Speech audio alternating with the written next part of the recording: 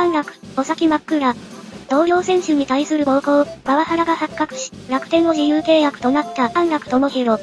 楽天は15日に再発防止策を公表し、チーム全員を対象にした年2回の面談などを行うという。一方で、安楽は来季どうなるのか。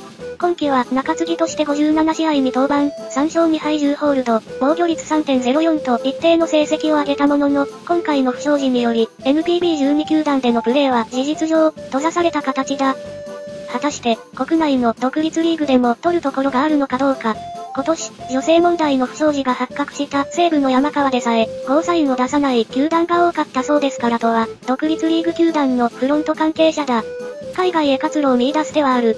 ただ、最も日本との実力差が近い韓国プロ野球は、日本以上に取り手がないでしょうと、韓国球界関係者がこう続ける。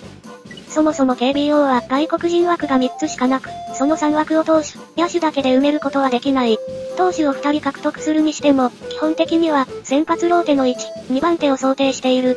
安楽のような救援投手が入る余地はほぼありません。しかも、獲得対象になるのは、米球界か日本球界でプレーする北米、中南米出身選手。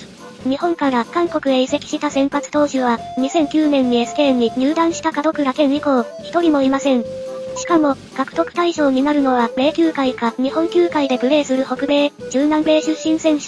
日本から韓国へ移籍した先発投手は、2009年に SK に入団した門倉健以降、一人もいません。チャンスがあるとすれば、米マイナーや独立リーグ、メキシコなどの中南米、台湾あたりか。中でも台湾は1軍支配下の外国人枠が4つあり、契約も1ヶ月単位なので球団としては助っ人を獲得しやすい。最近は日本から、プロでの経験や実績のない選手も積極的に獲得しています。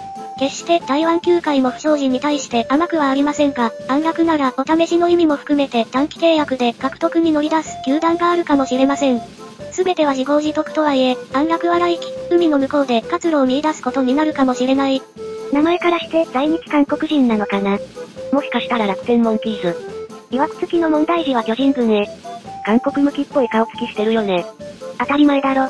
自業自得だわ。街が綺麗になるまでゴミ拾いしてろ。野球界から追放しよう。じゃあね二度と顔見せるなよ。チンピラになるしかないでしょ。行き着く先は無職、ニート人生。ざまーとしか言えねえ。中東の新リーグでぶち込まれてこいや。